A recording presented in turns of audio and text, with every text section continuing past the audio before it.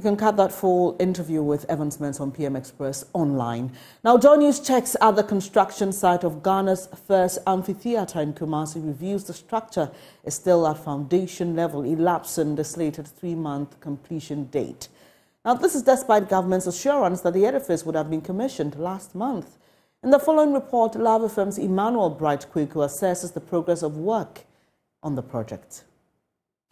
We say the name of the Father.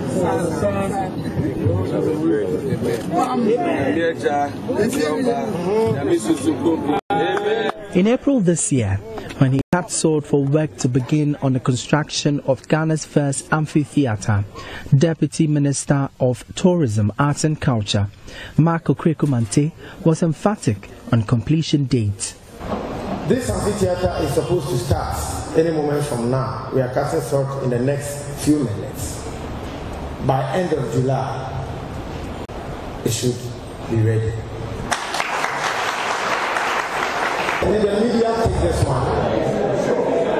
Please put this on record. Let me thank you, Honorable Minister, for mentioning on October 19, 2022, Minister of Tourism, Arts and Culture, Dr. Ibrahim Mohammed Awal, announced the government's plan to build five multi-purpose domes or amphitheaters by the close of December 2022. We are going to build five amphitheaters, domes.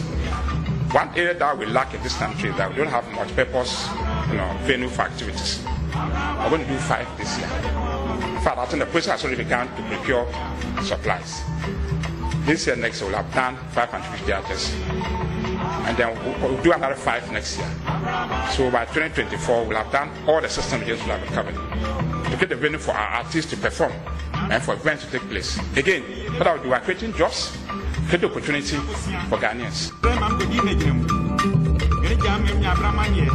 The project, as part of the ministry's developmental initiatives, is to revamp tourism and the creative art industry in Ghana, but the assurance never saw the light of day within a specified time frame. Coming into 2023, many creative art industry players had hoped construction works for the facility would begin expeditiously in the early part of the year. But it was not until six months after the announcement was made that the Deputy Sector Minister, Mark Okraku Mantey, cut sword for the multi-purpose domes. We are here, we are on the soil or on the ground to start the project. And so we are here to, to do the fair. Amphitheaters are open-air venues used for entertainment, performances and sports. The amphitheater would have a thousand sloping seat capacity, including theater-style stages with seating on only one side. The project is expected to be replicated across 16 regions of Ghana, with five of them seeing completion this year. Ghanaian actor and chairman of the Ghana Actors Guild Ashanti chapter, Bill Asamoah, was convinced the structure would uplift the creative industry. Even though we have amphitheaters here in Kumasi already, this is a modern set of the art where it's covered, where we can do our premieres, the sound and everything will be that now befits a movie theater. So we appreciate it so much. Three months after the deputy minister's assurance, I visited the site to assess the progress of of work. Exactly seven days to the end of July, and this is a level of work at the project site. The foundation for this amphitheater has been laid as constructors over here race against time to complete the edifice, but one could only wonder if they would be able to meet the expected date for commissioning. Constructors at the site who opted to speak off camera could not confirm to me when the project will be completed. Not everyone is happy with the delayed promise. The first one that they promised has not even actually taken any shape. So, what's the guarantee that we're going to have those five in the year?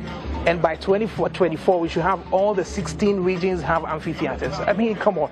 I, I, don't think anyone can actually justify this. So obviously, it's a deceit. Entertainment pundit Ebenezer Donko is perturbed by the government's faltering commitment to the creative arts. So you're just looking at a government that's ready to put some of these things in place to make sure that creatives get to enjoy. Let's not forget that creatives contribute a lot to the economy, and if we really want to actually put this nation forward, we really want to talk about things that this country can offer. The creative industry is very important we always seem to think about just tourism and think about our tourism destinations and our tourism sites. With hopes of salvaging Ghana's struggling creative arts sector, it was expected that the first of the 16 edifices located at the Kumasi Cultural Center would soon be completed. Successive governments have over the years failed in their mandates to either deliver on promises on time or abandon projects completely. But the question is are these delayed promises in the creative arts industry denying the country economic boost? For Joy News, my name is Emmanuel Bright Quick.